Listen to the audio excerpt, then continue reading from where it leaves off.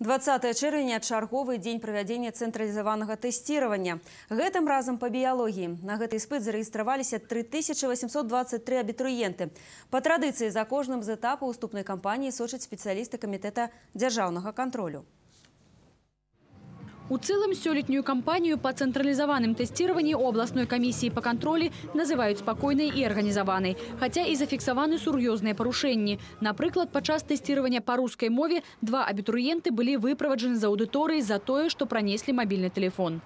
Падчас уступнай кампаніі ў кожнай з аўдыторый, дзе праводзяцца іспыты кожнага з сямі пунктаў тэсціравання вобласці прысутнічаюць спецыялісты КДК. Па іх інфармацыі, яўка абітурыентаў перавышае 95% ад колькасці зарэгістраваных зарегистрированных. Со стороны организаторов тестирования можно отметить незначительные недостатки. Это неправильное пакетирование э, педтестов и бланков ответов.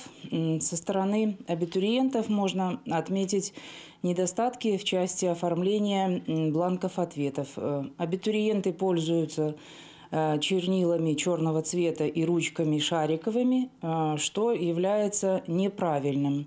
На чарговыя іспыты па хіміі і фізіцы можна будзе ўзяць з сабой самы просты калькулятар, які не з'яўляецца сродкам прыёма і перадачы інфармацыі. Кантралёры таксама раяць абітурыентам прыходзіць на выпрабаванне загадзя і нагадваюць пра абавязковую наяўнасць пашпарту, пропуску і капілярнай альбо гелевай ручкі чорнага колеру.